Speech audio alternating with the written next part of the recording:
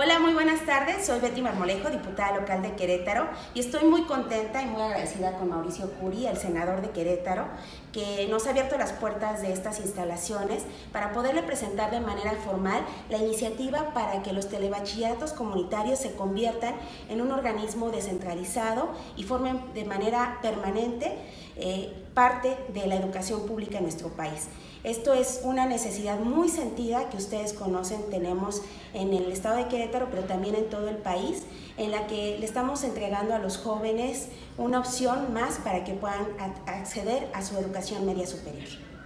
Yo pues muy agradecido aquí con Betty, por supuesto que le recibo con muchísimo gusto eh, la iniciativa, por supuesto que nos vamos a comprometer con ella, felicitar a Betty que siempre ha sido una persona muy profesional, bien chambeadora, no solamente con esto, se metió un fuertísimo con el tema de las estancias y ahorita tomó muy, pero muy profesionalmente el tema de, los telebachilleratos, donde, bueno, le pega a 9 mil maestros a nivel nacional, le da eh, el, tema en Querétaro, son 1.600 alumnos para, para, nuestro estado de Querétaro,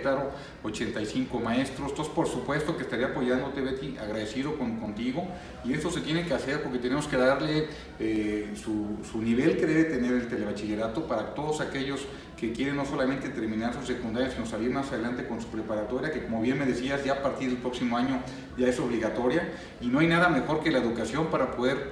tener un país, al país que, aspiramos a que podemos llegar a tener y que nadie se quede sin educación y que no, y mucho menos que sea por falta de recursos. Felicidades Betty, agradecidísimo contigo, mándame este tipo de iniciativas y por supuesto que aquí las vamos a, a meter y las vamos a empujar para que pronto la tengamos ya esta iniciativa ya hecha una realidad. Muchas gracias. Obviamente estaremos sumando a todas las personas involucradas en este tema y pedimos que a nivel nacional nos volquemos a favor de los telebachilleratos comunitarios. Sí, por supuesto que sí, por los maestros, por los alumnos y por nuestro México.